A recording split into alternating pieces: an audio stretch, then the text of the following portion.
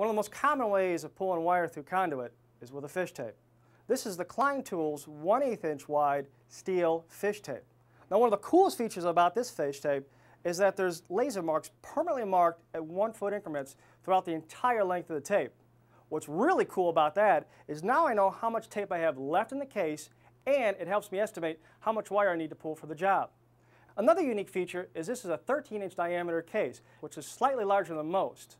The benefit of having a slightly larger case, it allows me to take up a little more tape for every revolution.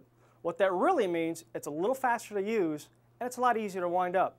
As far as the case is concerned too, we have these nice raised finger grips, which give me a nice smooth surface, but it still gives me a lot of control over the tape.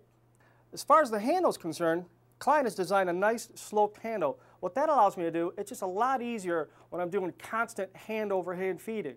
Now this tape is available in lengths of 50 feet, 65 feet, 125 feet, and 240 feet.